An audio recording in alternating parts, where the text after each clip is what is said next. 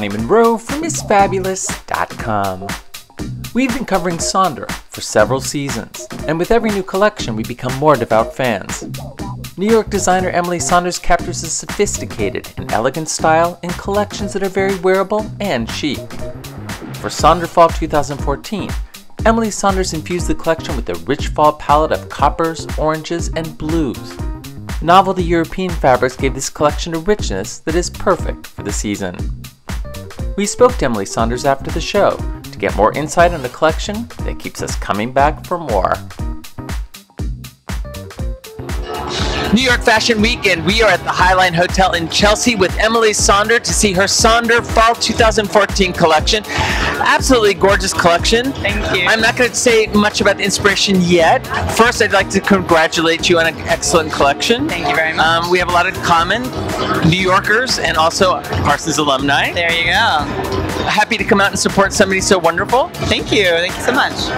Obviously, from the detailing I saw on the show, there's a great 30s influence in it. Do you want to tell us a little bit about that? Yeah, well, I was really influenced by this kind of mixture of uh, 1980s meets film noir. So, like, really taking some of the um, silhouettes that you see in film noir and then mixing them with, with like fun poppy fabrics from the 80s and using that some of that color palette. So, kind of like doing a classic, um, fun, you know, hodgepodge of, of the two of the two concepts.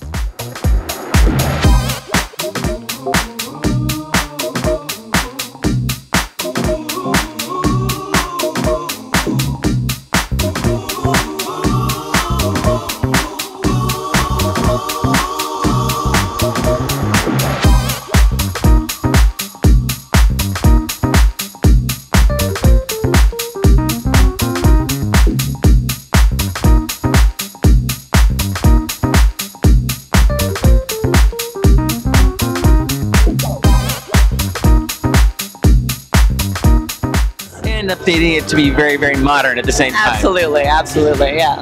And you talked about the fabrics. What are the important fabrics in this collection? Um, a lot of the novelty fabrics are from Italy and Spain, and so we have like a leopard jacquard where there's a lot of like this like treated faux fur copper. Um, so it's like their the novelties are really rich.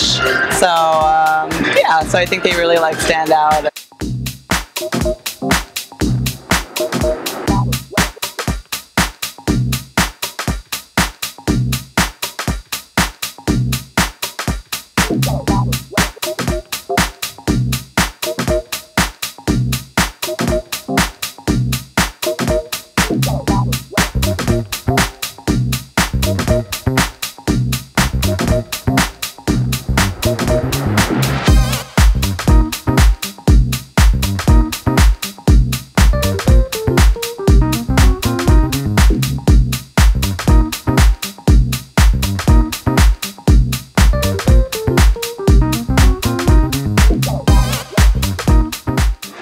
And you had brilliant fall color palette here. Can you Thank tell us a little bit about the colors? Sure, yeah, I really was um, invested in doing like some pop colors like uh, Radiant Orchid and um, like I said, copper is like a big, you know, a big um, part of the collection, some orange and blue, um, but then also kind of balanced out with some navies and you know some sort of like deeper, um, more neutral tones.